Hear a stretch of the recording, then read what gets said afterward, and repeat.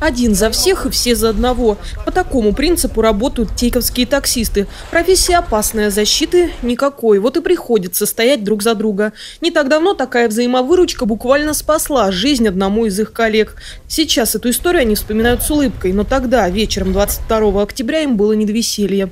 Уже стемнело, когда мирные таксистские разговоры в эфире прервал сдавленный хрип. И что с колесом было?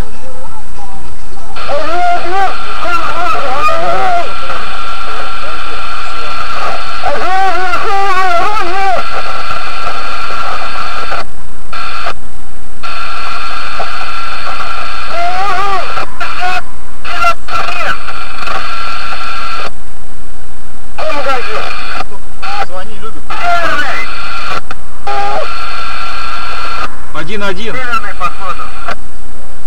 Северный один-один. Мы не поняли сначала, что это наш водитель-то кричит. Принят.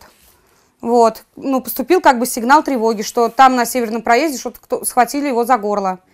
Ребята поехали туда, ну, всей базой. Адрес разобрать удалось с трудом, но таксисты, не задумываясь, бросились на поиски своего товарища. Максим оказался на месте происшествия первым. По улице Советская ехал, и получилось так, что мы разъехались с этой машиной. Шашки были сняты с нее с антенны, поэтому я не понял, что это такси наше.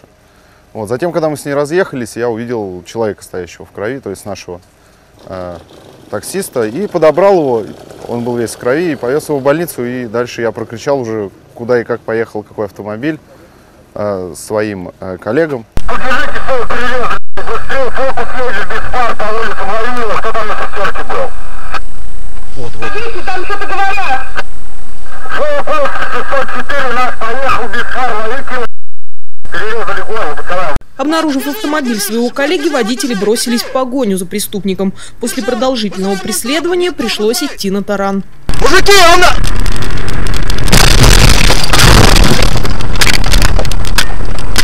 Мужики! Он едет! Где его? Фак, держи его, держи! Все, все, все. От удара автомобиль преследователей вышел из строя, да и сами таксисты получили ушибы, а злоумышленник скрылся. Но погоня явно выбила его из колеи. Бросив угнанную машину, и спрятав окровавленную куртку, он попытался сбежать. На этот раз на своих двоих. По камерам видеонаблюдения его и выследили сотрудники полиции. Были отсмотрены записи с камер видеонаблюдения, установленных по городу. И на одной из таких записей было видно, как молодой человек, схожий по приметам, что-то прячет э, в районе, в одном из районов города, э, в железобетонных конструкциях. На место Выехала следственная оперативная группа, там была обнаружена куртка с пятнами крови, был подключен кинолог с собакой, и служебная собака вывела полицейских к подъезду вероятного преступника.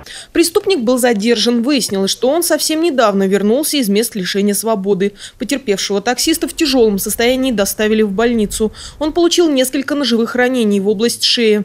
Также серьезно были повреждены сухожилия руки. Но в целом, уверены врачи, таксисту повезло. Да и сам Александр считает, что родился в рубашке. Ведь если бы не коллеги, примчавшиеся на помощь, все могло бы закончиться намного хуже. Ну, он меня добил по-любому, потому что у него была такая цель. Потому что после того, как я крикнул сигнал, он мне еще раз по горлу ножом резанул. И просто пугался уже, хотел, ну, начал уже убегать. Екатерина показывает рабочий автомобиль мужа. Машина, долгое время кормившая их семью, стала поводом для нападения на главу семейства. Сейчас все позади.